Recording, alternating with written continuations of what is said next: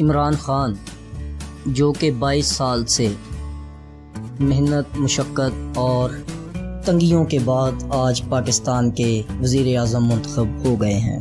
اس بات پر میں تہ دل سے عمران خان کو مبارکباد پیش کرتا ہوں کہ جس طرح انہوں نے پاکستان کے لیے نہ گرمی دیکھی، نہ سردی دیکھی، نہ آندھی دیکھی، نہ طوفان دیکھے، ڈٹے رہے۔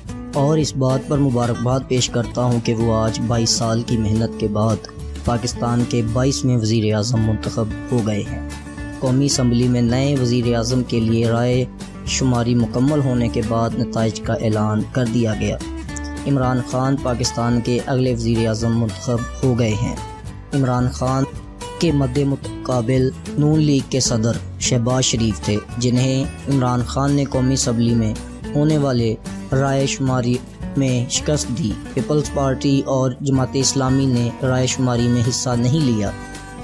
آپ کو بتاتے چلیں کہ عمران خان نے وزیر اعظم کے لیے ایک سو چھہتر vote, one seventy six vote حاصل کیے، جبکہ مسلم لیگ نون کے صدر میاں محمد شباز شریف نے نائنٹی سکس ووٹ حاصل کیے۔ پاکستان کے اگلے وزیر اعظم، جو کہ منتخب ہو چکے ہیں، جناب عمران خان صاحب اور وہ کل دس بجے اپنے عہدے کا حلف اٹھائیں گے۔ دوستو، اگر ویڈیو پسند آئے، لائک کیجیے شیئر کیجیے اور نیچے کمنٹ سیکشن میں اپنے خیالات سے ضرور آگاہ کیجیے اللہ حافظ۔